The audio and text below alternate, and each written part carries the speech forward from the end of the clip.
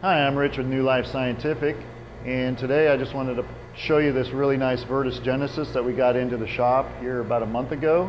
Um, I have gone clear through it, and we're just going to talk about a few things that I've done and just how really nice this machine is. You can really see it's just really sharp condition for, for the age of it.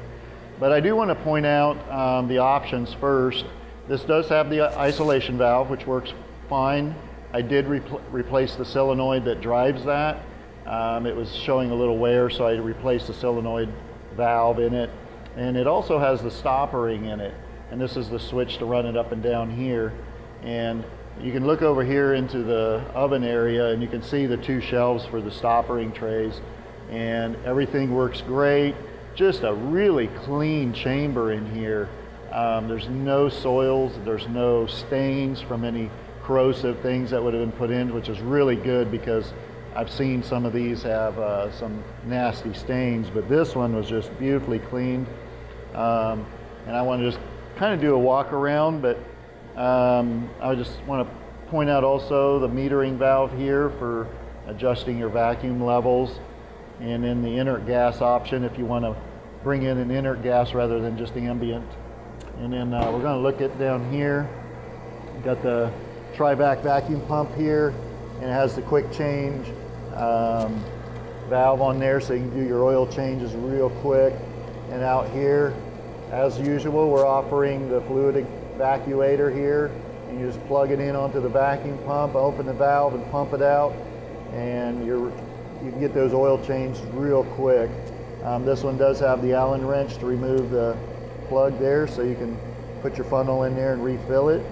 Um, I did ask, add a waste bottle on these, um, so any excess oil coming out of the filter up here um, will go into the waste bottle. That's something that VirTis never did. They just let it drip, and so you can uh, dump that when that gets full enough. So keeps it nice and clean down here. But you can see also in the oven here, you can, uh, you can plug in some different uh, thermocouples. I do have a couple thermocouples actually in the tray here that you can use. So you can utilize these here, and that's what those are for. You can uh, maintain, um, watch some temperatures through your control panel through those in your sample area. But you can just come on around again, just a beautiful machine. Um, we did uh, replace the solenoid valve, like I said, and it sits in here. This is where you're going to plug in your air the act, for the actuator, and that will control the isolation valve there.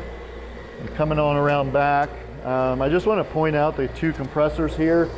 Um, just really clean machines. I did do a isolation on the low side over here and did a complete new recharge. It was showing a little weakness in the charge. So it's, it's been checked, it's been uh, refilled refrigerant. This one's been checked also and it was running great. I didn't do anything to it.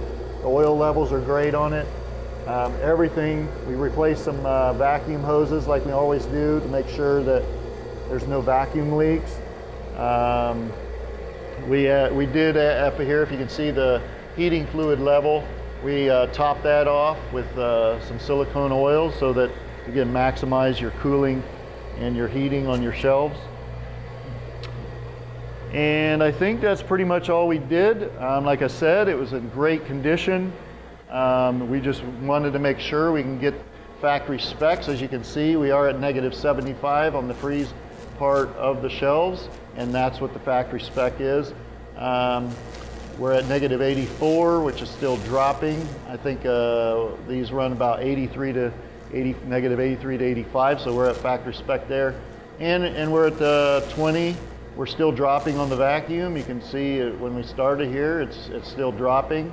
Um, it definitely gets down to the, the factory spec too. So this machine is running, uh, as far as I could tell, everything is running at factory specs from a new machine.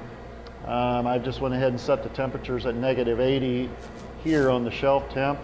Um, and it's you know, it's working its way towards that. This is about as low as it gets, but like I said, that's already below the, the spec factor. I think they call negative 75, and we're already below that there.